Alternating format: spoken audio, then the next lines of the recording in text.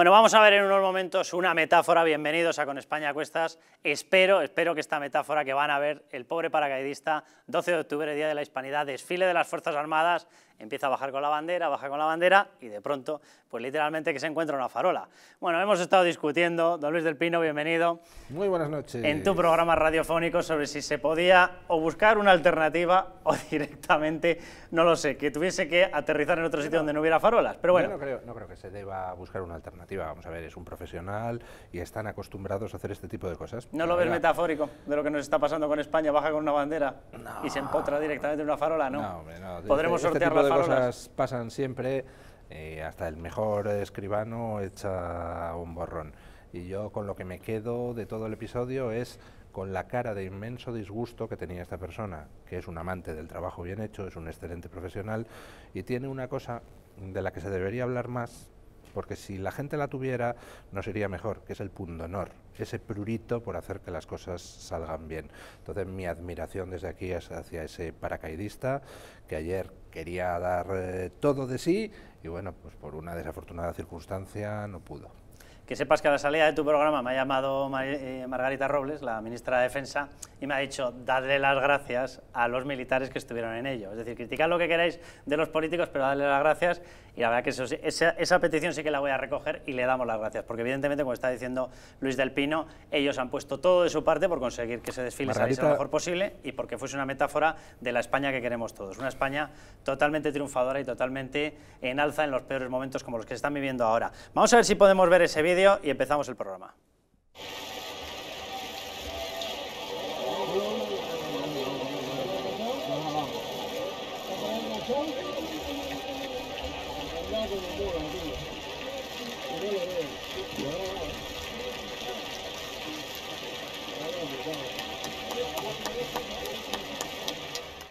Bueno, acto seguido ocurría una escena un tanto curiosa, yo no diré que única, porque ya se está convirtiendo en habitual, iban los reyes de España a hablar precisamente con el cabo, con el cabo que bajaba, con el cabo paracaidista, ellos aparecían, evidentemente todas estas cuestiones se comunican a protocolo, y dicen baja el jefe de Estado, baja su Alteza, baja eh, su Majestad, baja el rey, va a hablar con el cabo. Bueno, inmediatamente, y luego van a ver las imágenes, como a 3-4 metros aparece el invitado estrella ya de todo este tipo de actos, ya lo hizo en el Palacio de Oriente el presidente del gobierno, Pedro Sánchez, y le tuvieron que parar porque allí también quería tener su protagonismo y entrar en escena. Pero bueno, a lo que vamos. Esto yo espero que no sea una metáfora de lo que nos está ocurriendo, aunque sí que es verdad que empiezan a pasar cosas muy preocupantes. Y me refiero a la sentencia del Tribunal Supremo sobre el 1 de octubre. Yo no voy a poner en duda el resultado, básicamente porque sé que lo que están buscando en estos momentos determinados partidos es precisamente que todos nos sumemos a una quema de las instituciones, del Tribunal Supremo, de la monarquía. Si habla el rey para defender España después del 1O, es que no tiene que hablar, es que tiene que ser neutral, una cosa maravillosa esto de la neutralidad, cuando la neutralidad obviamente lo que no te puede llevar es a anular tu propia esencia. Tu esencia es la representación de España, ¿cómo no vas a representarla en los peores momentos? Y ahora toca el Tribunal Supremo. Tocó ya con la sentencia de la manada, ha tocado con el tema eh, precisamente de la exhumación de Franco y ahora vuelve a tocar. ¿Con qué? Con el 1 de octubre. Yo no voy a poner en duda el resultado. Lo que voy a poner en duda es lo que está ocurriendo con este gobierno y las presiones sistemáticas a la Fiscalía, a los magistrados y a todo el entorno que les rodea. Lo que ha pasado a lo largo de todo el tiempo en el que se ha tenido que dictar esta sentencia es tremendo. Las presiones que han soportado los fiscales generales, empezando por José Manuel Maza desde el inicio, las presiones posteriores de los siguientes que han estado en ese cargo, las presiones que se han soportado sobre los propios magistrados, y el estrella en este caso ha sido en la instrucción Yarena y posteriormente Marchena, y lo que están teniendo que aguantar hasta el final. Ha habido una batalla en ese Tribunal Supremo, por primera vez eso que llaman ellos el bloque progresista. Si se definen así, será porque ellos saben perfectamente ante quién deben su estancia y su cargo.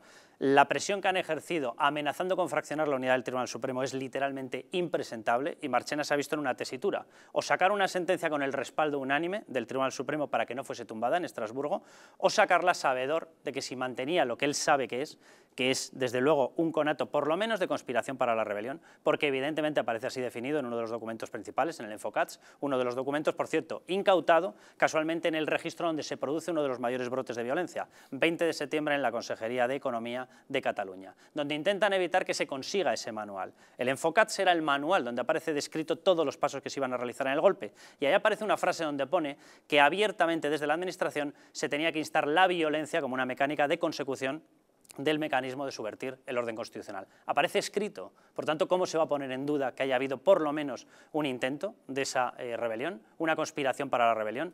Pero el problema que tiene Marchena es que tiene que optar entre sacar una sentencia debilitada por votos particulares, llevarla a Estrasburgo con el riesgo de que se la tumben, y si se la tumban lo que le van a tumbar es la integridad, malversación, sedición y, por supuesto, la conspiración para la rebelión.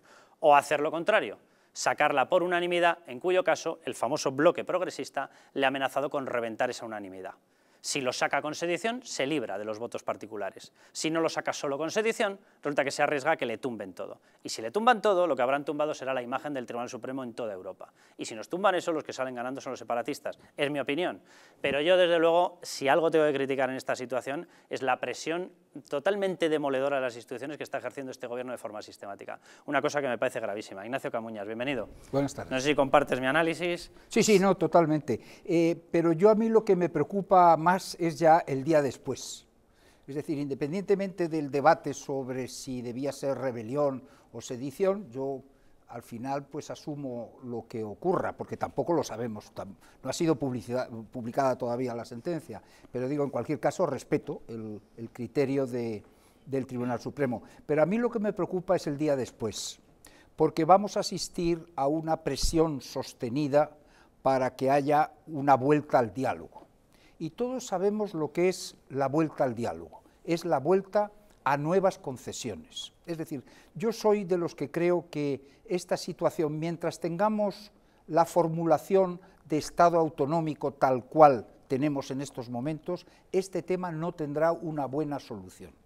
Yo creo que eh, o abordamos en profundidad una reforma del modelo territorial que nos hemos dado y que desgraciadamente no ha sido un éxito, puesto que el modelo territorial que nos hemos dado en la Constitución sirvió en aquellos momentos fundamentalmente para tratar de integrar a los nacionalismos vascos y catalán en el marco de la Constitución.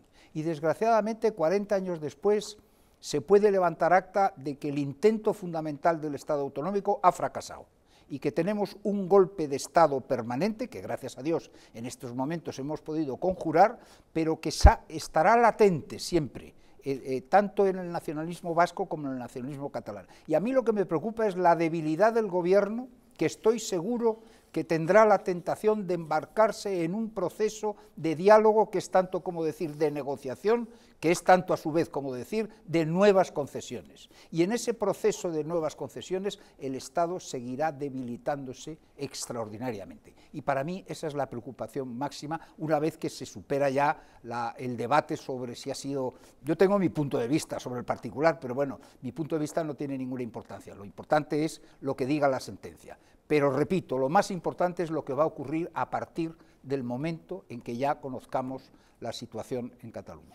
A Isabel Pérez Baos, bienvenida. ¿Qué tal? Buenas noches, Carlos. Tendremos, bueno, se niega que existiera violencia en, en S1, ¿tendremos violencia a partir de ahora? Lo digo porque los CDRs ya claramente están armados, tienen incluso precursores de explosivos, evidentemente si tú tienes los precursores de explosivos, alguien te tiene que proveer del explosivo, no creo yo que vayas a estar preparando una bomba sin tener en cuenta que te faltaba una pieza clave. Exacto, aquí yo también estoy de acuerdo que lo importante es el día después, el día después por todo esto, ¿no? Necesitamos unas instituciones fuertes, unos gobiernos serios, eh, con contundencia para defender las instituciones, el Estado de Derecho y sobre todo eh, impedir ese, ese, intento de violencia que tenemos claro que es por donde van. Ya hoy tenemos ya las manifestaciones ¿no? Ahí por parte de, todas estas personas que consideran que, que, tienen que tumbar la decisión que los jueces eh, acaten, que todavía no la sabemos, que en principio parece ser que estará mañana, pero que todavía no es firme y sin embargo ya han empezado las manifestaciones en Cataluña y por eso yo creo que es muy importante y el día después pues lo decidimos entre todos. ¿no? Yo creo que esto es un tema muy importante en esta campaña electoral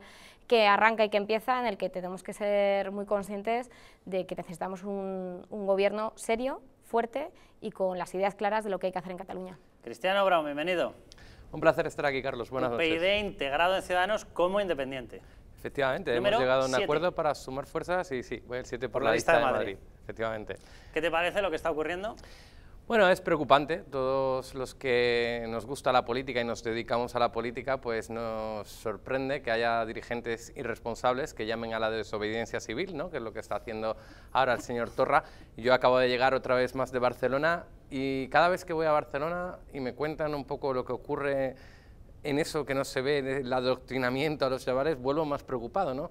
Están repartiendo ah, formularios a los chavales de los institutos para que puedan sumarse a la huelga estudiantil durante tres días cuando salga la sentencia. En vez de que los, los estudiantes digan, oiga, que yo quiero hacer huelga, deme usted una justificación. No, se lo están entregando a los chavales para que ellos sepan que pueden faltar a clase tres días, lo cual en un instituto, oye, yo me acuerdo de mi etapa de juventud, lo de faltar a clases tres días, digo, oye... Eh, que un chaval, un alumno, haga eh, una ausencia de clase lo denomina huelga. Claro, y es que me queden que la huelga la laboral, con lo cual no sé muy bien quién es ahí el trabajador o no trabajador. A mí lo que o sea, ya ni siquiera es el profesor, es el alumno. No, pero me preocupa que lo estén promocionando desde dentro de los institutos, los profesores, y el mensaje político que hay detrás de esto es muy grave. Están diciendo a los chavales que respalden una causa política, les están diciendo, vamos, les quieren utilizar para justificar un mensaje político en una sentencia que todos debemos de respetar, pero sinceramente todos tendremos, al igual que decía don Ignacio, todos tendremos nuestra opinión el día de mañana. A mí me preocupa que en un país como el que vivimos, con años de democracia y con toda la historia que tenemos en el pasado, haya un presidente de una comunidad autónoma llamando a la desobediencia. A mí me preocupa que el partido de gobierno no sea claro en esta materia y cuando se encuentra a los CDRs con goma 2, no sean claros y diga, hasta aquí hemos llegado, señores, hay una línea que no se puede cruzar. Podemos hablar de muchas cosas en política, pero cuando se apela a la violencia, cuando se ve unos CDRs que están manejando explosivos, aquí, señores del Partido Socialista, no hay nada más que decir. Pues tenemos que poner al lado de la Guardia Civil, al lado de la gente que está trabajando para defendernos y no tiene que venir el señor Marlasca a decir nada ni a los guardias civiles ni a todos los que defendemos la unidad de España independientemente de la ideología que tengamos. Pues déjame que os dé, ahora le doy la palabra a Luis, que seguro que además quiere hablar también del tema de la sentencia, pero déjame que os dé la última noticia eh, sobre Quintorra y lo último que acaba de hacer, porque si en los colegios están distribuyendo pasquines para sumar a menores de edad a una no huelga, porque evidentemente no es laboral, un proceso revolucionario, llamarlo huelga, yo de verdad que ya apague vámonos. O sea, cuando yo estudié desde luego Derecho Constitucional, esta historia de la protección constitucional del derecho de huelga no incluía el montar barricadas por un motivo encima que no fuese laboral y menos aún con menores de edad. Pero bueno, interpretación separatista. Ya saben ustedes que cuando entramos en el entorno separatista el Estado de Derecho salta. La última, de Quintorra, precinta el material antidisturbios de los Mossos para fiscalizar su uso en las protestas. Esto lo estamos publicando en estos momentos en OK Diario. El uso del material antidisturbio por parte de las unidades especializadas de Mossos de Escuadra ha quedado fiscalizado desde estos momentos de cara a las previsibles protestas. Es decir, traducido, Quintorra va a decidir a partir de estos momentos quién puede salir con material antidisturbios independientemente del disturbio y del ataque que se produzca. Ergo, me imagino que les cambiará el material antidisturbios, no lo sé, por un palillo, por una servilleta o por un tirachinas. Veremos lo que acaba decidiendo este hombre. Ahora, que este señor siga teniendo el mando en plaza de esa zona y no se aplique cualquier tipo de intervención es increíble. Déjenme que les diga dónde se nos puede ver, no para lo que nos están viendo, sino para que nos hagan boca a boca y vayamos sumando cada vez más. En televisión, como ustedes mismos habrán empezado ya a ver, pumba, nos dan ahí en el mando a distancia y salimos en Madrid en la Comunidad Valenciana y en Aragón. ¿Dónde? En Madrid, frecuencias 45 y 57 de la TDT. ¿Dónde se nos puede ver en Aragón? Pues en la 8 Zaragoza. ¿Y dónde se nos puede ver en toda la Comunidad Valenciana? En 8 Mediterráneo. En esas tres comunidades autónomas nos pueden ver a través de esos canales de televisión normal. TDT es la televisión normal. Encienden el televisor y ahí estamos. ¿Dónde se nos puede ver por internet? Les doy todo el listado. tv.eldistrito.es, ahí estamos. distritotv.es, ahí también estamos. Y en YouTube, el Distrito TV, ahí también estamos. Estamos por tres vías, más las otras no tienen disculpa para no vernos. ¿Cómo pueden conectar con nosotros? Bueno, para enviarnos mensajes a través de WhatsApp, les doy el teléfono 669-728-673. Y para contactar a través de redes sociales, ya saben que en Twitter lo de la ñ no llegó, pues arroba Cuesta y en Facebook Distrito TV y en Instagram Distrito TV. Y vamos a ver algunas de las declaraciones de cara a esa sentencia, cómo se está caldeando el ambiente y comentamos lo que va a ocurrir, porque realmente todavía no ha ocurrido.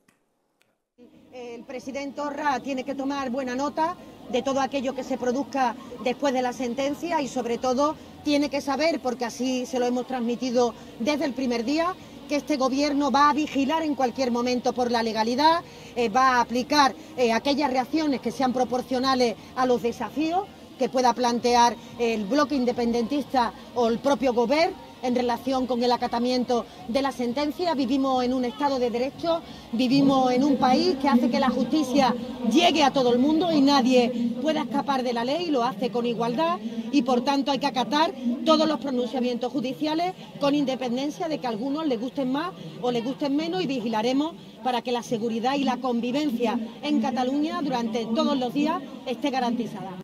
Yo no sé, o esta gente no lee la prensa, eh, mientras estaba haciendo estas declaraciones, esta noticia estaba colgada, la de que una persona está alterando el comportamiento normal de la policía en Cataluña y ha decidido literalmente requisar el material antidisturbios para que no se pueda intervenir. Menos mal que nos garantiza la señora Montero que va a haber un control absoluto de todo lo que ocurra ilegal. Luis del Pino, déjame lo único que lance la, encuesta primero para toda la gente que nos está viendo. ¿Por qué cree, esta es la pregunta a la que tienen que contestar ustedes, por qué cree que deben ser condenados los golpistas del 1 de octubre? ¿Por rebelión o por sedición? Si consideran que es por rebelión, 905 80 81 40. Si consideran que es por sedición, 905 80 81 41. Luis.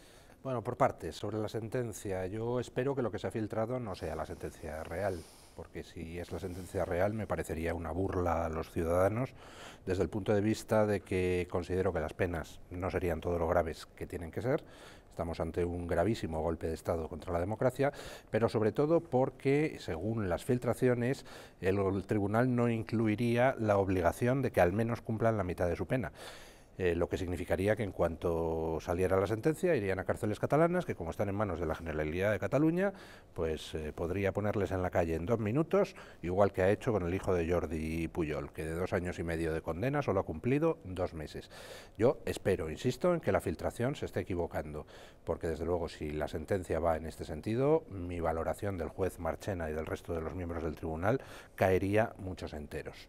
Segundo, con respecto a las consecuencias, ¿qué va a pasar cuando se sepa la sentencia? Sea cual sea. Bueno, dentro del campo separatista, dentro de la gente de la calle del campo separatista, hay ya un hartazgo que se percibe en la escasez de las movilizaciones. Esta mañana, pues apenas un centenar de personas han ido a ocupar la estación de Sants. Eh, eh, respondiendo al llamamiento de los CDRs. Ahora, el que la gente esté ya hasta las narices del tema, incluidos los propios votantes separatistas, no quiere decir que la cúpula del separatismo vaya a dejar el invento. Siguen en su golpe. Ellos están en eso. Por eso precisamente la sentencia debe ser lo más dura posible, para disuadir de que pueda volver a pasar lo que pasó el 1 de octubre. Y yo estoy con lo que decía don Ignacio. A mí, más incluso que la sentencia, me preocupa los llamamientos que ya se están escuchando a negociaciones y a encontrar un punto intermedio. No, perdone, perdone entre la autodeterminación y la no autodeterminación no hay punto intermedio, igual que no hay punto intermedio entre estar embarazado y no estar embarazado. Oiga, o lo estás o no lo estás, es binario. Bueno, si alguien quiere la autodeterminación, existen mecanismos legales en España para que puedan perseguir sus fines, respetando la ley. Pero yo no tengo por qué dialogar con ellos, es su problema. El que quiere la autodeterminación, oiga, que nos convenza a los demás de que la aprobemos. No tengo por qué hacer gestos, no tengo por qué dialogar, no tengo por qué darles terceras vías ni salidas. Yo quiero que sean derrotados en las urnas y que por supuesto no consigan sus objetivos, porque yo no quiero la autodeterminación de un trozo de mi país, yo quiero a mi país entero. Han empezado, efectivamente, doy más datos de esto, de lo que estaba comentando Luis, eh, las movilizaciones preventivas. Esto es una cosa maravillosa, contra una sentencia que desconocen y que además la filtración que ha habido sería la versión más suave posible de esa sentencia. Pese a lo cual ya ha sido invadida una de las eh, vías, la Gran Vía de Barcelona, eh, por independentistas, asegurando que eso es una violación de los derechos de sus, lo que ellos llaman, esos eh, presos políticos. Evidentemente no lo son, pero ya en estos momentos ya tenemos, a estas alturas ha tenido que ser desalojada esa Gran Vía y ya tenemos eh, protestas también en la estación de Sanz, efectivamente, lanzadas de forma preventiva para la llegada de esa sentencia mañana. Ignacio. Bueno, vamos a ver, eh, tenemos el siguiente problema. El partido que hoy ocupa el gobierno de la nación, aunque sea con carácter provisional, hasta las próximas elecciones, tiene una dependencia total con el PSC. Ya le pasó eso al, al PSOE de Zapatero. Entonces, el PSC va a alentar un proceso de negociación consistente en dar validez al estatuto anterior que hicieron los nacionalistas en la etapa de Maragall. Es decir, van a intentar dar un paso al frente, espoleados por el PSC, para conseguir lo que no se consiguió eh, a raíz del estatuto que quisieron aprobar en la etapa de, Zapatero. Eso va a poner en marcha un proceso que ya está en curso en el País Vasco, Como saben todos ustedes, eh, el, el, PNV ha acabado, de acuerdo con Bildu, ya un proyecto de estatuto del cual van a pedir un referéndum de validación previo al envío del estatuto a Madrid. Eh, naturalmente el estatuto es un estatuto de bilateralidad donde se consagraría prácticamente la confederación y, todo eso aderezado por unas declaraciones de una simpleza que hizo el presidente del gobierno que tuve pues no sé si la satisfacción o el dolor de escucharle el otro día en televisión, donde habló claramente de que en España hay cuatro naciones. España, el País Vasco, Cataluña y Galicia con una declaración de esa simpleza por parte de todo un presidente del gobierno y en medio del, drama en que nos encontramos en Cataluña y en el País Vasco, yo creo que mm, no, podemos ser muy optimistas. O, nos tomamos este tema de las autonomías en serio, hay, hubo una frase famosa de mi querido amigo y compañero Rodolfo Martín Villa en la etapa de, UCD con la ETA que decía o acabamos con la ETA o ETA acaba con nosotros. Bueno, mutatis mutandi se podría llegar a decir que o acabamos con las autonomías o las autonomías están poniendo claramente en un riesgo de fractura y de división de nuestro país irreparable.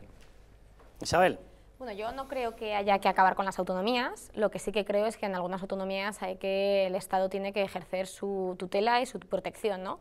Estoy de acuerdo con, con Luis cuando decía que, que, a los independentistas les tenemos que derrotar en las urnas. Somos eh, creemos en el Estado de Derecho y hay que derrotarles. A mí lo que me preocupa es cuando tenemos unos centros públicos educativos en Cataluña que lo que son son fábrica de votantes independentistas. Y ahí sí que tenemos un problema con la autonomía. Ahí sí que creo que el Estado tiene que reaccionar y actuar e impedir que esto esté pasando, porque además es flagrante, lo estamos viendo todos y es algo que no, no es que nos cuenten, es que vemos, ¿no? Y que vemos que se producen este llamamiento a huelga a los estudiantes para, para apoyar a los CDR, para que se sumen, para que aprendan y para que se sumen a ese movimiento independentista. Y yo creo que ese es el verdadero problema que tienen las autonomías en ciertos lugares, donde se han gestionado o donde se están gestionando mal. Hay otras autonomías, y ponemos el ejemplo de la Comunidad de Madrid, donde el Estatuto de Autonomía nos ha permitido funcionar y funcionar muy bien y ser hoy, por hoy la locomotora eh, de España cuando previo a las autonomías no lo éramos, ni mucho menos. ¿no? Por tanto, yo creo que un buen uso de las autonomías hace que las, que las comunidades autónomas avancen y crezcan. Un mal uso de las autonomías hacen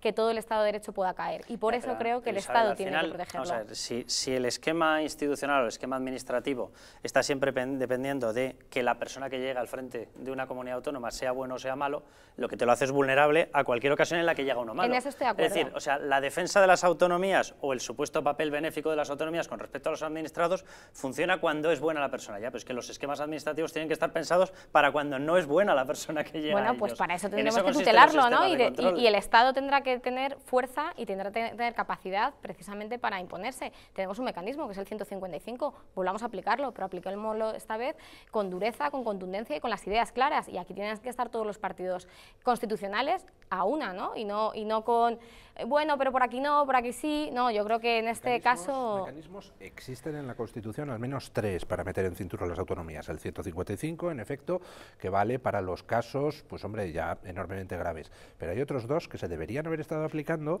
eh, desde hace mucho tiempo, que son los mecanismos de la alta inspección del Estado, que está sin eh, aplicar, y los mecanismos de las leyes de armonización que son leyes orgánicas que permiten decretar por razones de interés general que todas las autonomías funcionen de acuerdo con determinados patrones. Bueno, pues ya es hora de que los partidos nacionales empiecen a aplicar los mecanismos que existe, hay. Luis, ya existe un cuarto mecanismo que es directamente no interferir en el proceso judicial y cuando una persona claramente incurre en delito, y estoy pensando en Quintorra, le dejen las manos libres a la Fiscalía para que actúe. O sea, si un Quintorra saliendo en televisión diciendo apretada, apretada a los CDR después de recibirlos y después de pillarles con explosivos, va a aplaudirles, llegamos a la conclusión de que no está instigando un delito, apaga y vámonos. O sea, si eso no es conspiración para un delito y no está actuando. La Fiscalía en estos momentos no está actuando. Ergo, aparte de los mecanismos que estoy de acuerdo que existen, lo que existe sobre todo, debería existir, es un principio de legalidad de permitir la actuación de las distintas instituciones del Estado. En estos momentos no se está permitiendo esa actuación de las instituciones del Estado. Por mucho que diga Isabel Cela, vamos a escucharla. El presidente de Gobierno ha afirmado en reiteradas ocasiones que si la Generalitat, que es la que tiene la llave, desea abrir o abre la puerta de la excepcionalidad, obviamente se aplicarán todos esos instrumentos del Estado de Derecho con firmeza democrática, con proporcionalidad y además con unidad. Cristianos, ¿se están aplicando? Bueno, yo la verdad es que del PSOE ya no, no, no, sé qué creer, porque no sé si lo hacen por cálculo electoral, porque Sánchez ahora considera que la bandera de España le vuelve a gustar, ¿no? después de haberse puesto esa bandera gigante, pero lo que hay ejemplos clarísimos en Cataluña de que no se está respetando la Constitución, pero desde hace mucho tiempo. O sea, no necesitan que salgan los CDRs mañana a las calles de Barcelona o de toda Cataluña para poder aplicar el 155, porque estamos viendo muchísimos ejemplos. Y yo me alegro que el Partido Popular y que Ana decida aplicar un 155 más duro esta vez, porque la anterior tuvimos una gran oportunidad de poner orden en Cataluña. Pero y Ciudadanos no era partidario, entre otros, bueno, de que no fuera tan creo, duro. Yo creo que Ni el Partido yo, Socialista. Como siempre defendí que el 155 anterior no se aplicó de forma correcta y lo he dicho en muchas ocasiones y sigo pensándolo que necesitamos tiempo para poder recuperar la convivencia en Cataluña y se tiene que aplicar de otra manera. Además, respecto a lo que se decía del Estatuto Vasco, a mí yo quiero que la gente lo sepa porque esto no está trascendiendo en, la- en los medios de comunicación y en prensa, pero el Estatuto Vasco que se está negociando está legitimando los fines políticos que tenía la banda terrorista ETA. Y eso hay que decirle a los españoles, que aquí se está negociando un Estatuto Vasco que legitima los fines políticos que tenía ETA. Y eso lo tiene que saber la gente, porque estamos todos mirando a Cataluña cuando está ocurriendo algo por detrás en el país, en el país vasco sumamente grave. Y Torra dice, bueno, vamos a quitarle los elementos de antidisturbios a los mozos de escuadra porque sabe que no tiene fuerza a día de hoy y quiere decirle a los independentistas, salir a las calles que no os va a pasar nada, no vamos a cargar contra vosotros, porque sabe ahora mismo que el independentismo no tiene fuerza en Cataluña, porque ha visto lo que ha ocurrido en la Diada, porque sabe que los catalanes se han dado cuenta que era el autoengaño más grande que ha habido en una, en una civilización, es el autoengaño mundial más grande que, han- que ha tratado- que ha hecho nadie, o sea, es increíble. Y me preocupa por la seguridad de los mozos de escuadra, que haya disturbios y que no tengan elementos para poder también defenderse. O sea, la seguridad de esas personas, de estos profesionales que tienen que salir a poner orden a las calles y no se les dé los medios necesarios. Yo, respecto a las filtraciones de los medios de comunicación que comentaba don Luis, solo decir una cosa.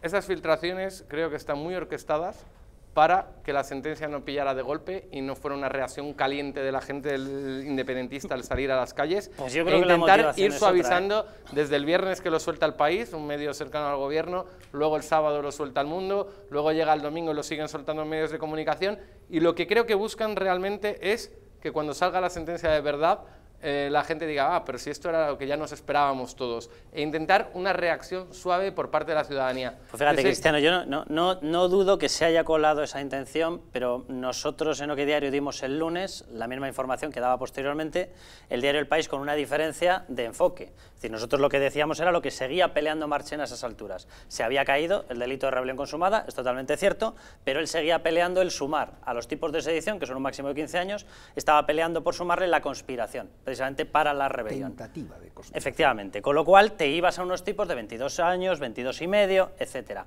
En medio de eso sale la información del país, que confirma 100% lo nuestro. Y justo antes de que se acabe el periodo en el cual se podía negociar, sale la filtración de que la sentencia está cerrada. Por la información que yo tengo, Marchena no la daba por cerrada, Marchena pero por la que tengo yo, más por la que él mismo confirma en la recepción Claro, del 12 de octubre, donde dice, señores Hasta míos, no yo no voy a confirmarlo porque hasta que no esté firmada por último magistrado, la sentencia no existe como tal. ¿A qué firma se puede estar refiriendo? Solamente a la suya. Es la que él conoce, es decir, le faltó decir, señores, que yo no he firmado esto. Alguien lo está filtrando sin la firma del responsable. Es Ahí- decir, lo que está ocurriendo en estos momentos en el Tribunal Supremo es de una gravedad máxima, pero no ya lo que salga, sino lo que ha ocurrido por el camino. Oye, hay un fiscal general que lanzó todo esto, José Manuel Maza, que posteriormente, en las distintas representaciones que ha tenido, han sido representaciones de cargo, no han sido representaciones de identidad.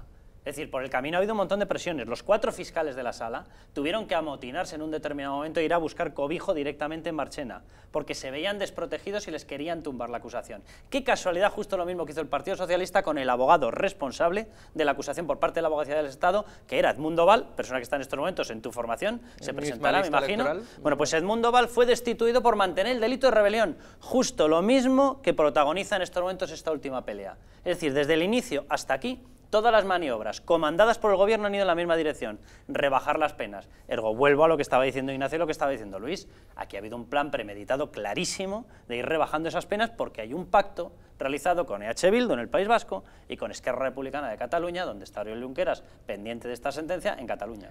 No, pero efectivamente, yo creo que las filtraciones tienen doble, doble motivo. Por un lado, hacia la ciudadanía, hacia los catalanes independentistas, suavizar y por otro, presionar a los jueces. Yo estoy de acuerdo con Marchena, hasta que no se firme la sentencia no sabemos lo que va a ocurrir.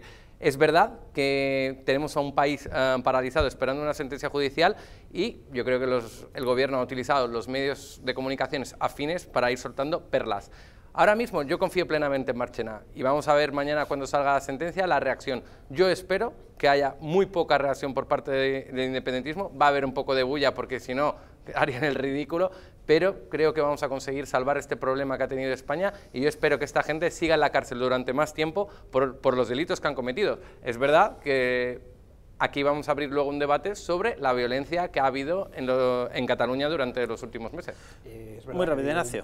Ah, perdón, perdón. No, no, no. Digo que cualquiera que sea la sentencia, por fin, si es tentativa de rebelión, si es rebelión, si es sedición, lo importante es lo que va a pasar después. Y, y por tanto lo que tenemos es que estar muy pendientes, sobre todo a mi juicio, de lo que va a ser la actitud del Partido Popular. Porque evidentemente va a haber una presión de los medios de comunicación y de la opinión pública de que, dado el resultado que es previsible esperar en las próximas elecciones generales, el Partido Socialista obviamente no va a obtener una mayoría suficiente para la investidura y se va a dar, repito, una presión muy fuerte al Partido Popular y todo indica que hay una cierta voluntad de favorecer la gobernabilidad y por tanto de darle un pase al Partido Socialista para que asuma las responsabilidades del gobierno de la nación. Pero claro, vamos a ver en qué condiciones se hace ese pacto, porque eh, tendrán que tener, el Partido Popular tendrá que tener muy claro la situación en Cataluña y en el País Vasco, que se va a presentar de forma inmediata y muy fuerte en los próximos meses. Y vamos a ver la clarividencia, la fortaleza y la capacidad política del Partido Popular, que está llamado, entiendo yo, a facilitar la gobernabilidad de España dando un, bueno, pues un voto no positivo, pero sí una mm. abstención constructiva para que gobierne previsiblemente, si no hay un hundimiento electoral, ¿verdad?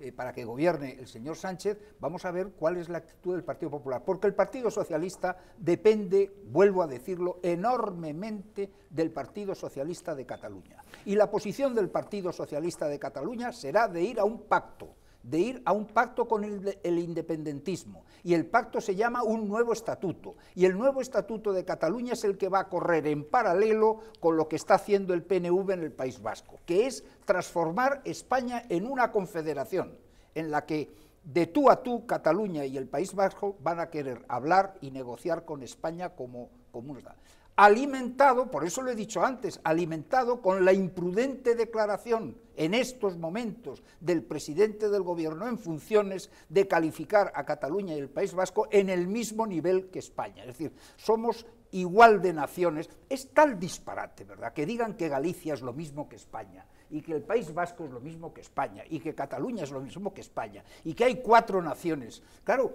Todas las naciones lo que quieren, como es lógico, es un, Estado y por tanto es animarles a que vayan a la fórmula. Vamos a publicidad, vamos a publicidad, ahora te doy la palabra a Luis porque quiero que hablemos de todo esto, de la consecuencia de qué papel va a jugar cada uno de los partidos. Vamos a publicidad y volvemos ya.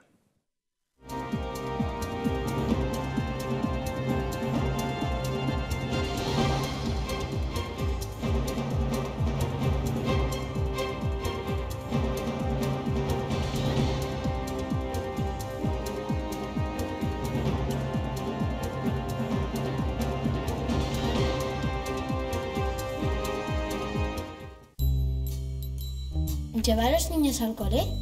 Sí. ¿Hacer la cena todos los días? No. ¿Ocupa un alto cargo en su empresa? Sí. ¿Sabes quién es? Si no sabes quién, es porque no existen diferencias. Campaña por la igualdad entre mujeres y hombres cofinanciada por el Fondo Social Europeo. Comunidad de Madrid.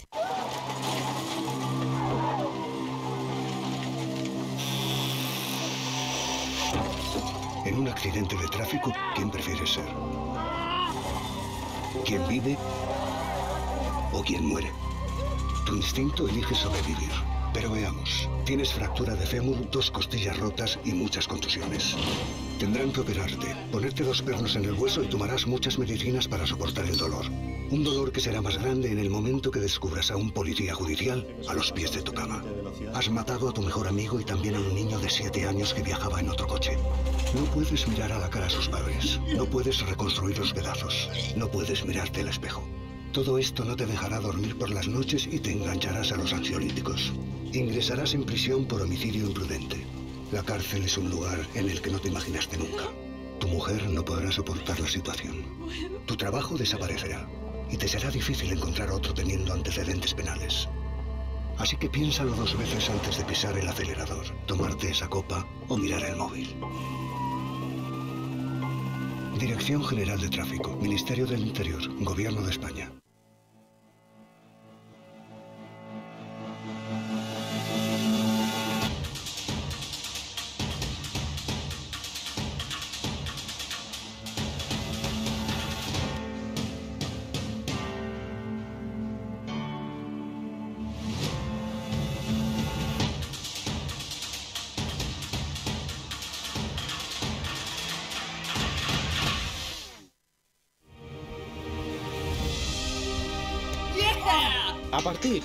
Del 1 de abril, en el Distrito Televisión, proyecciones de la Luz Oriental.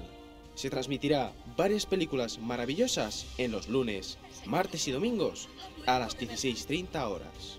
A continuación, La Luz Oriental en el Distrito Televisión.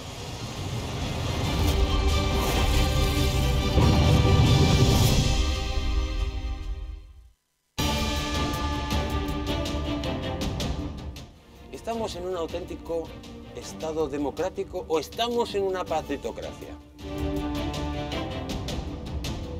Porque este programa se hace para ustedes. La ciudadanía está quedando atónita a lo que estamos viendo. Vamos a ver cosas que nunca se imaginarían. Lo que ha pasado en España demuestra que Falconetti no es tonto. Que la democracia, ¿qué es lo que es, amigos? El imperio de la ley. Esta izquierda rancia lo que quieren es exterminar todo aquello que no piensan exactamente igual. El castigo va a ser terrible para todos los partidos. Porque se avecina una crisis de unas dimensiones estratosféricas.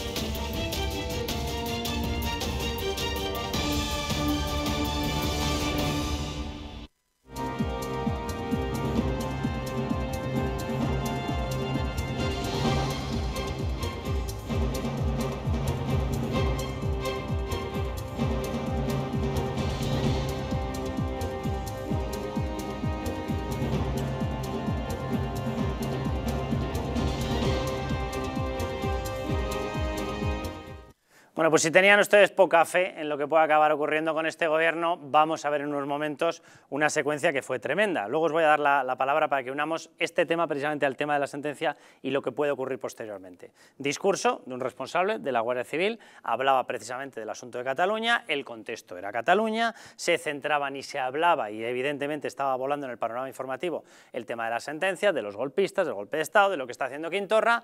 Vamos a ver ese discurso y luego les voy a contar cuál ha sido la lamentable reacción de nuestro gobierno que ha acabado pidiendo perdón por unas palabras que ustedes las van a escuchar y díganme ustedes si esas palabras representan algún tipo de ataque a alguna institución, si son inadecuadas dentro de lo que tiene que hacer y de lo que representa a una persona como un responsable de la Guardia Civil, o si todo lo contrario, lo que son es precisamente la esencia de lo que se tiene que estar defendiendo en estos momentos. Vamos a escucharlo.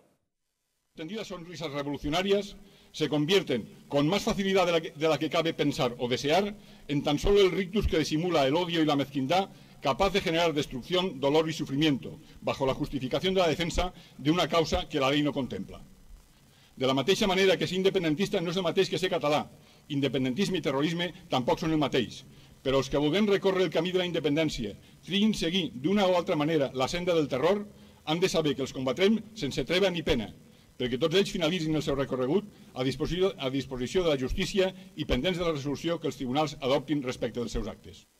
Luego vamos a ver qué ocurría entre el público, si se le puede llamar público, porque era un público evidentemente cualificado, es decir, ahí no estaba cualquier persona, y los gestos que se hacían algunos de los responsables de los Mossos de Escuadra, que debían considerar esto muy de mofa, muy de risa, muy de vamos a hacer comentarios, de mandarnos mensajitos, ergo claramente no debían estar muy de acuerdo con lo que estaba diciendo el responsable de la Guardia Civil, que habla en castellano, en español y que habla en catalán él tiene el dominio de las dos lenguas, hace lo que le da la santísima gana, como es obvio. Pero cuando se refiere a ese cinismo que está en estos momentos haciendo volar la unidad de España y la Constitución, la respuesta inmediata del gobierno, ¿cuál fue? Acabar pidiendo perdón.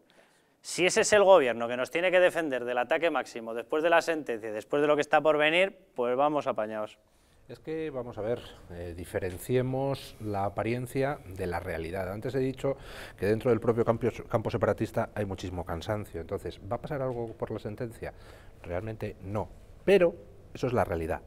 Lo que se va a aparentar es que pasa mucho, porque en estos momentos existe un interés mutuo entre el Partido Socialista y los separatistas para generar una apariencia de tensión máxima con el fin de beneficiarse electoralmente tanto uno Pedro Sánchez haciendo de español a tope, eh, como los separatistas haciéndose las víctimas. Eh, pero va a ser todo apariencia. En la realidad, lo que está haciendo el gobierno es continuando con sus negociaciones con el separatismo. Y todos esos enfrentamientos que vamos a ver en los próximos días van a ser enfrentamientos perfectamente escenificados. Ahora, eso sí, le advierto a Pedro Sánchez, el pueblo español es mucho menos tonto de lo que Pedro Sánchez se imagina.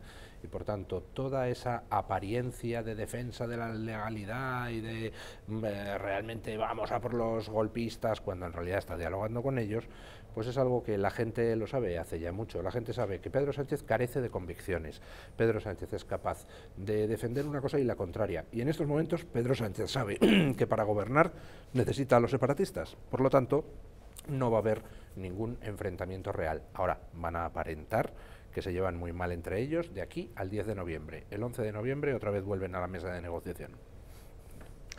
Yo quiero agradecer el trabajo que hace la, la Guardia Civil, sobre todo porque gracias a la Guardia Civil a día de hoy los CDRs no tienen goma 2 y no tienen explosivos para cuando salga la sentencia el día de mañana pues revolucionar las calles de Barcelona, ¿no? porque el objetivo principal sabemos todos que es Barcelona, porque lo tienen ya todo preparado y orquestado para que salgan marchas independentistas de distintos pueblos durante varios días y luego lleguen a Barcelona dentro de, creo que el miércoles, creo que es el plan de invadir Barcelona por parte de los independentistas. Pues gracias a la Guardia Civil, precisamente estos CDRs, si invaden Barcelona, irán menos armados y con menos violencia de lo que pretendían en un principio. Entonces, no entiendo por qué el gobierno la verdad, antes decía, hay cosas básicas, ¿no? Hay líneas rojas que no se debe cruzar.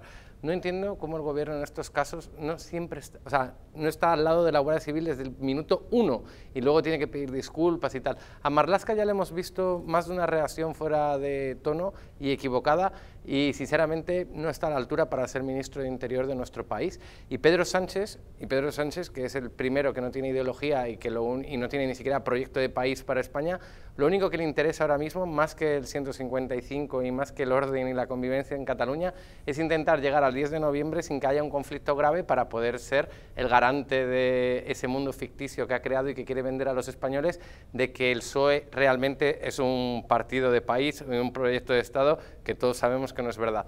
Con lo cual, si el ministro de Interior no defiende la Guardia Civil, ¿qué clase de país estamos viviendo? Yo me pregunto en Europa, si un ministro de Interior eh, está en contra de su policía, ¿cuál sería la reacción pública de la gente? ¿no? ¿Qué, ¿Qué mensaje está trasladando bueno, el este ministro de Interior viene de dos situaciones previas. Una de ellas se da precisamente después de la detención del CDR con explosivos. La Guardia Civil tiene que actuar en Cataluña porque resulta que no están actuando los Mossos, los Mossos ni colaboran ni pasan información y la Guardia Civil hace su función y detiene a nueve personas dentro del CDR famoso que estaba ya con los precursores de explosivos y, por cierto, los había ensayado ya en una cantera, es decir, su peligrosidad era más que obvia. Bueno, la reacción que tiene Fernando Grande Marlasca, más que la reacción, la reacción la digo luego, pero la previsión fue haber dicho que no ocurría nada extraño ni había ningún tipo de peligrosidad en Cataluña. Un gran análisis para un responsable de Interior, que es el responsable de Interior de la Policía Nacional, de la Guardia Civil y de los Mossos de Escuadra, para que no se nos olvide. La reacción, es decir, ya sí, La posterior fue directamente reunir a los cuatro máximos mandos de la Guardia Civil y abroncarlos en una reunión privada, de la cual se ha filtrado a la salida que los cuatro guardias civiles hicieron lo que debería haber hecho Grande Marlasca, es decir, mantener y decirle vamos a hacer todo lo que necesitamos para llegar hasta el final de esta investigación y descubrir, por supuesto, también la rama política, es decir, vamos a garantizar el cumplimiento de la ley. Eso se lo dicen los mandos de la Guardia Civil al responsable máximo en Interior de exigir ese cumplimiento,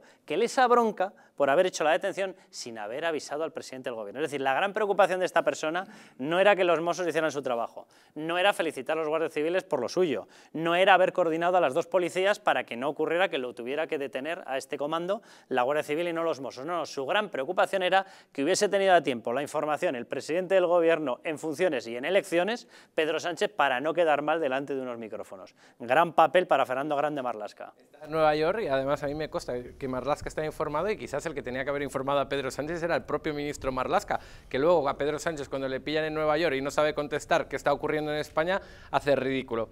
Pero la verdad es que los populistas y los independentistas siempre han buscado lo mismo. Su estrategia es menospreciar el Estado de Derecho y las instituciones. Y una institución como la Guardia Civil, el querer menospreciarla, escupirla, el, criticarla, es parte de la estrategia, es parte de la regla del juego para ellos. Ellos, para ellos, la democracia, el, el votar, tal, es por encima de todas las instituciones. Y es una falacia, porque aquí lo que está por encima de todo es el Estado de Derecho, la Constitución y las normas que nos hemos dado. Y ellos lo que quieren hacer atacando a la Guardia Civil es lo mismo que hacen atacando al Congreso de los Diputados y atacando al Tribunal Constitucional, atacando al Tribunal Supremo, que es eh, desprestigiar y querer destruir las instituciones que están marcando nuestro Estado de Derecho. Y eso es lo que hacen los independentistas, los populistas, los nacionalistas vascos, los nacionalistas catalanes, todos siguen el mismo perfil y la misma estrategia, no nos engañamos. Ignacio, déjame que repita la pregunta que tenemos lanzada a toda la audiencia precisamente con este tema, pero vamos, sobre todo con el tema de la sentencia. ¿Por qué cree usted que deben ser condenados los golpistas del 1 de octubre? Por rebelión, repito el teléfono, 905 8081 40, por sedición, 905 8081 41. Ignacio. Adelanto que yo hubiera preferido que el general de la Guardia Civil no hubiera hecho ese discurso.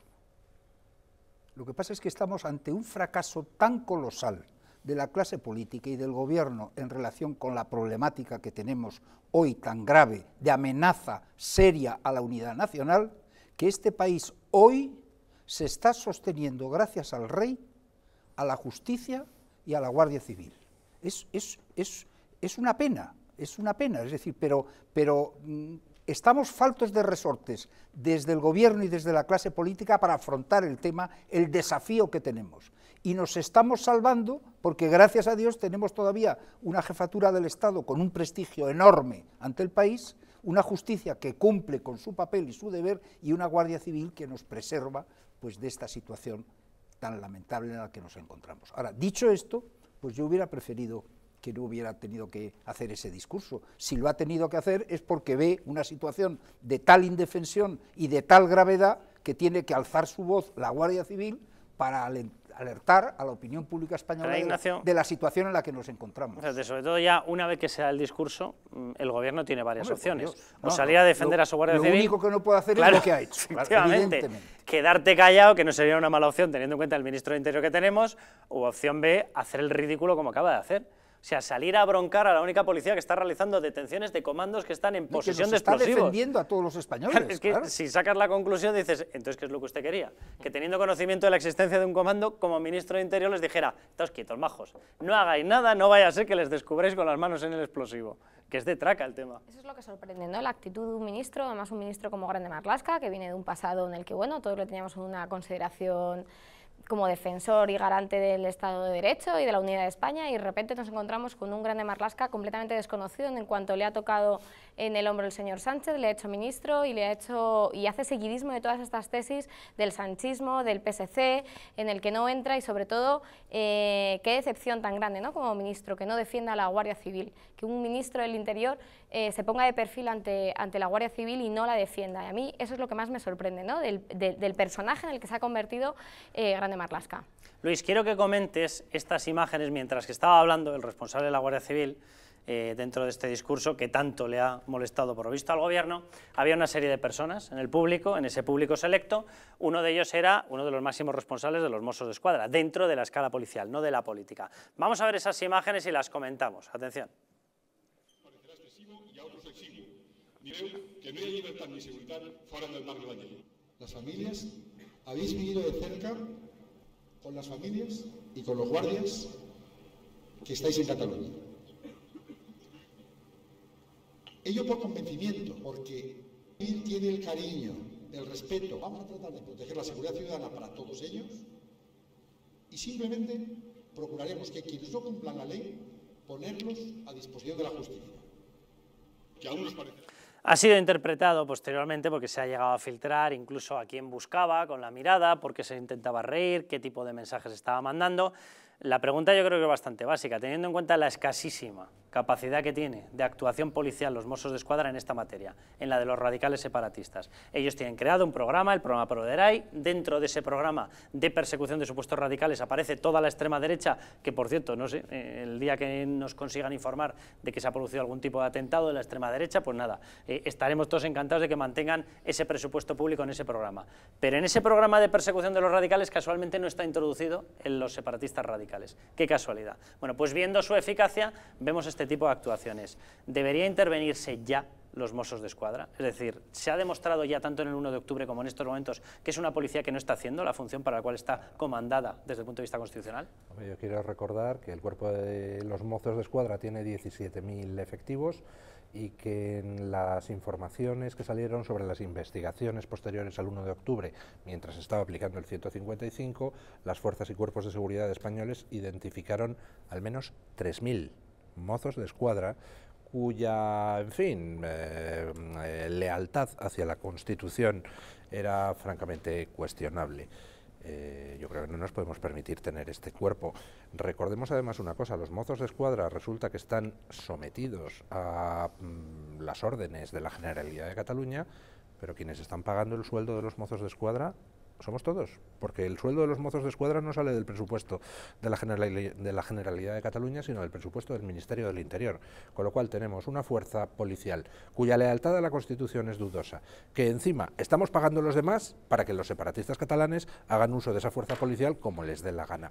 Eh, vamos, esto es una situación insostenible. Tenían que haberse disuelto hace muchísimo tiempo, haber puesto en la calle a todos aquellos cuya lealtad a la Constitución no eh, tenga, vamos, presente dudas y a los demás integrarlos en la policía y en la Guardia Civil. Por cierto, al discurso del general de la Guardia Civil, los separatistas muy indignados dijeron, este discurso rompe la neutralidad. Perdón, vamos a ver, el general de la Guardia Civil lo que hizo fue un discurso eh, diciendo a los que incumplan la ley vamos a ir a por ellos frente al delincuente, frente al que incumple la ley, no hay neutralidad que valga, y menos por parte de las fuerzas y cuerpos de seguridad del Estado. Oiga, usted puede ser separatista si le da la gana, mientras lo haga respetando la ley. Y si no respeta la ley, da igual que sea usted separatista, unionista o medio pensionista. Usted es un delincuente y por supuesto que la Guardia Civil no puede ser neutral. Las fuerzas y cuerpos de seguridad tendrán que ir a tratar de meterle a usted en la cárcel. Solo por decir una cosita respecto a lo que decía Luis, de que es verdad que el sueldo lo pagamos todos desde, desde la Administración Central, decir que se vuelve a manifestar la Policía Nacional y la Guardia Civil el próximo 19 de octubre en Madrid a las 12 de la mañana, creo que es en, la, en Callao, Jusapol ha vuelto a convocar una manifestación para la equiparación salarial, porque eso también hay que recordarlo a la gente, que esos mozos de escuadra que dices cobran bastante más que la Policía Nacional y los guardias civiles, perdón, cobran bastante menos, que los mozos de escuadra cobran más que la Policía Nacional y la Guardia Civil, también la Archancha, y eso hay que también que denunciarlo. Es una injusticia por la gran labor que hace nuestra Guardia Civil y la Policía Nacional y tendremos que estar, y yo al menos estaré ahí el próximo 19 de octubre para apoyar a nuestra policía. ¿Creéis que esto puede tener repercusión electoral? Es decir, ¿esto le va a salir caro a Pedro Sánchez? Bueno, probablemente sí, pero por eso han sacado ahora también otra vez lo de Franco y lo hacen coincidir para, para eh, precisamente amortizar. Yo estoy de acuerdo cuando comentábamos que están manejando los tiempos, que esta semana están manejando los tiempos con las filtraciones a los diferentes medios de comunicación, pero además hay que, hay que poner de manifiesto que quieren hacer coincidir eh, con un tema probablemente eh, más eh, sonado para tratar de mitigar el daño electoral que le puede suponer la cuestión de Cataluña al Partido Socialista. ¿Creéis que le puede acabar suponiendo un determinado peaje, es decir, que la famosa utopía esta que ellos trazaban de 140, 150 diputados, simplemente con Podemos y presionándoles un poco, metiendo a Rejón vamos a conseguir gobernar, este tipo de cuestiones le están empezando a limar escaños? Yo no, hago pronósticos electorales porque creo que de aquí a las elecciones hay todavía un largo trecho, pueden ocurrir tal cúmulo de cosas que yo no me atrevo a decir si esto le va a perjudicar, le va a beneficiar. Eh, yo creo que estamos aquí en un paréntesis de momento hasta ver un poco cómo ruedan las cosas en las próximas semanas. Yo no, no aventuro nada en relación con, con un posible resultado electoral. Luis, tú que eres más de Moscopo.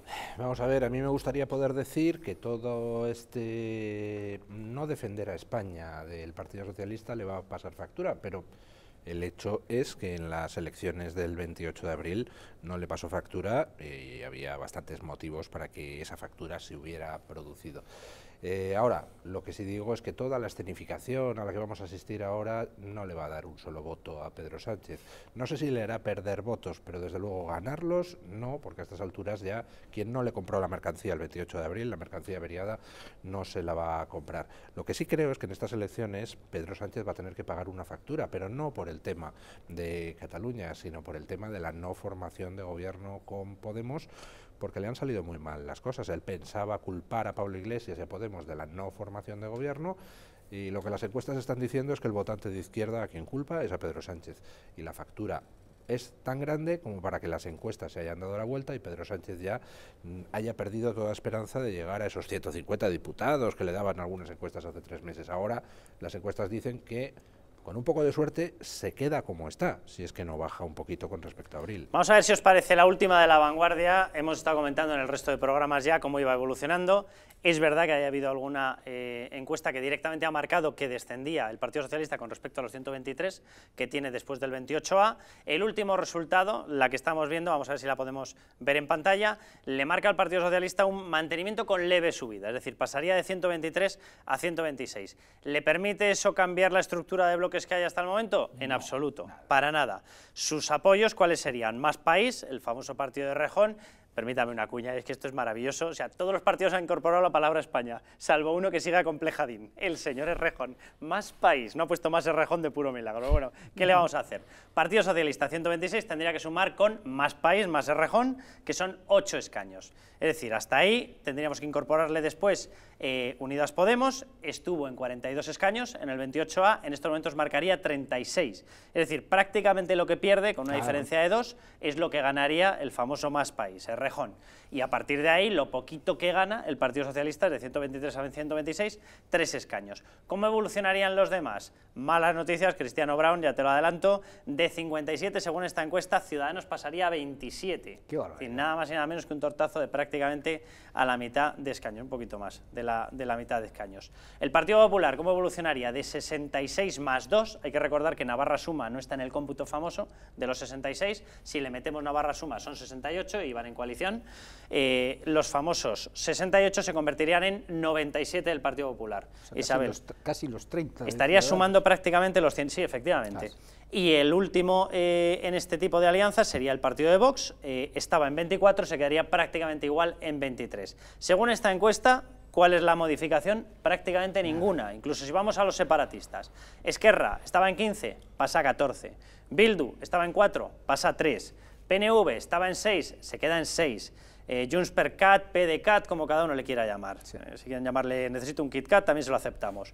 Estaba en 7, se queda en 7. Partido Regionalista de Cantabria estaba en 1, se queda en 1. Coalición Canaria estaba en 2, se queda en 2. Es decir, después de toda una prórroga, después de todo un nuevo proceso de repetición electoral, más de lo mismo, exactamente igual, salvo la diferencia de la caída de Ciudadanos y la subida del Partido Popular. Ojo que hay una, hay una diferencia importante. La estructura de bloques quedaría exactamente igual, pero Pedro Sánchez pierde una de las bazas que tenía. Antes tenía tres posibilidades de formar gobierno. Una de ellas, pactar con Ciudadanos. Si efectivamente se confirmara que Ciudadanos cae tanto y que Pedro Sánchez no sube, esa posibilidad ya se pierde, con lo cual Pedro Sánchez ya solo le quedarían dos opciones. O volver a sentar a Pablo Iglesias en el Consejo de Ministros, no puede. o pactar o llegar a un tipo de acuerdo de Estado con el Partido Popular, o si no, iremos a otras terceras elecciones. Sí, pero Yo creo que ha recibido ya suficientes recados de que los pactos a su izquierda no son convenientes, para nadie. de manera que tendrá que mirar hacia la derecha. Y ahí viene el tema de a ver en qué condiciones. Eh, Albert Rivera, que bueno, que se ha movido mucho y tal, pero claro, ya, ya, ya, ya ha marcado una línea y ha dicho, vamos a hacer un pacto público para amarrar al Partido Socialista. Porque claro, uno de los problemas que tenemos hoy día es la, la famosa cláusula esta de censura constructiva. Es decir, Sánchez al final lo que está jugando es a que le invistan a él. Y una vez investido, él sabe que no lo van a poder derribar, porque no va a haber ninguna composición de, de votos capaz de derribarle. De manera que él está jugando, como siempre, a cortísimo plazo y en favor suyo. Ahora, aunque le invistan, la gobernabilidad de España va a ser eh, tremendamente difícil, con, con, el volumen de problemas que tenemos, con un golpe de Estado encima de la mesa, con una situación económica que viene deteriorándose y que se va a deteriorar más en ese mandato, y con una fragilidad gubernamental de un gobierno con 123 o 126 o 126 escaños, España camina en el filo de la navaja. Estamos en un momento delicadísimo de la vida española. Tenemos que ir a publicidad, pero piénsate una pregunta que te voy a hacer porque efectivamente, como decía Luis, eh, no sale la suma Partido Socialista Ciudadanos, pero sí podría salir Partido Socialista Ciudadanos con la abstención del Partido Popular. Yo no sé si el Partido Popular estaría dispuesto a hacer ese sacrificio, tiene 97 escaños, según la encuesta, ¿eh? obviamente, pero evidentemente retirando esos 97 escaños se alcanzaría esa mayoría absoluta por parte del Partido Socialista más Ciudadanos. Vamos a publicidad y nos contestas.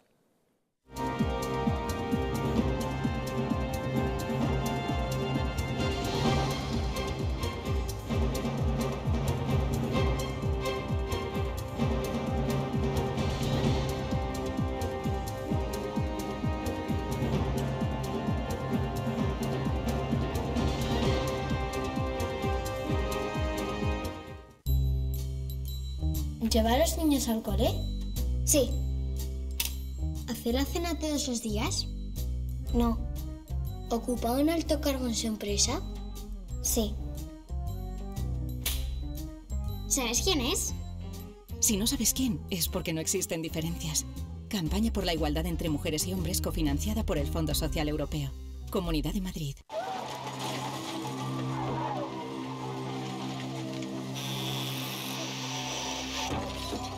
Accidente de tráfico, ¿quién prefiere ser? ¿Quién vive o quién muere? Tu instinto elige sobrevivir. Pero veamos, tienes fractura de fémur, dos costillas rotas y muchas contusiones. Tendrán que operarte, ponerte dos pernos en el hueso y tomarás muchas medicinas para soportar el dolor. Un dolor que será más grande en el momento que descubras a un policía judicial a los pies de tu cama. Has matado a tu mejor amigo y también a un niño de siete años que viajaba en otro coche. No puedes mirar a la cara a sus padres. No puedes reconstruir los pedazos. No puedes mirarte al espejo. Todo esto no te dejará dormir por las noches y te engancharás a los ansiolíticos. Ingresarás en prisión por homicidio imprudente. La cárcel es un lugar en el que no te imaginaste nunca. Tu mujer no podrá soportar la situación. Tu trabajo desaparecerá y te será difícil encontrar otro teniendo antecedentes penales. Así que piénsalo dos veces antes de pisar el acelerador, tomarte esa copa o mirar el móvil.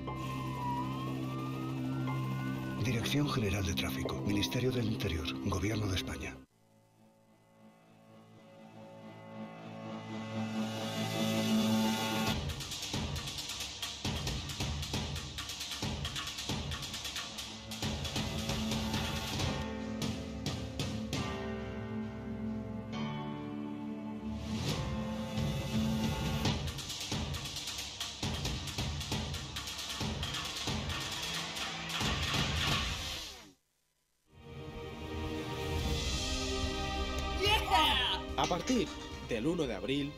En el Distrito Televisión, proyecciones de la luz oriental.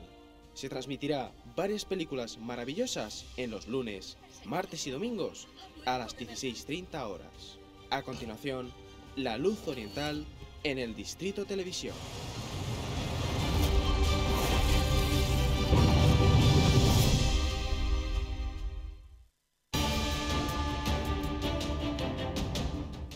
¿Estamos en un auténtico Estado democrático o estamos en una patritocracia? Porque este programa se hace para ustedes. La ciudadanía está quedando atónita a lo que estamos viendo. Vamos a ver cosas que nunca se imaginarían. Lo que ha pasado en España demuestra que Falconetti no es tonto. Que la democracia que lo que es, amigos, el imperio de la ley. Esta izquierda rancia lo que quieren es exterminar todo aquello que no piensan exactamente igual. El castigo va a ser terrible para todos los partidos. Porque se avecina una crisis de unas dimensiones estratosféricas.